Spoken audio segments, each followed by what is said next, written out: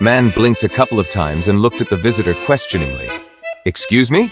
Can you repeat that? I didn't quite understand what you said. Sigh. Do you mean testicles? What is their interest to you? The man's patience was running out a bit, and his eyebrow twitched, which was quite rare for a serious man.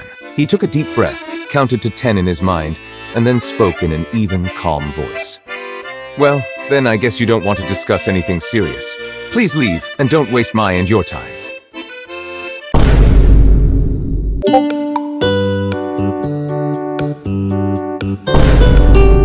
Oh, you want to talk about balls? Let me tell you, I'm quite good at handling them. Laughs dramatically.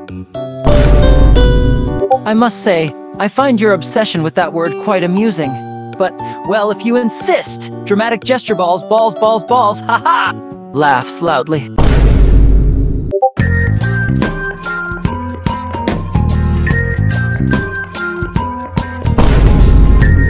What did you say? Repeat?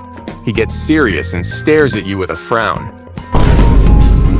He slowly approaches you, looks at you with a frown. He's clearly not in the mood for jokes right now. Repeat one more time. He grabbed by the neck and slammed you into the wall. Do you think it's funny, bastard?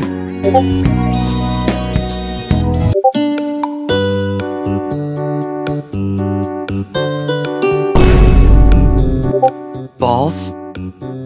That's funny, you really crack me up, or I'm gonna crack your balls open for not being as funny as I am. I'm gonna assume the former, because the latter isn't likely to work on me. Even if you try to go through with it anyway, you'll find no balls to crush down there. Ah, yes.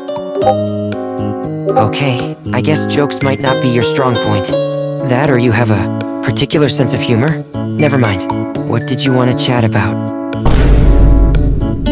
Your obsession with balls is pretty unhealthy, if I may say so.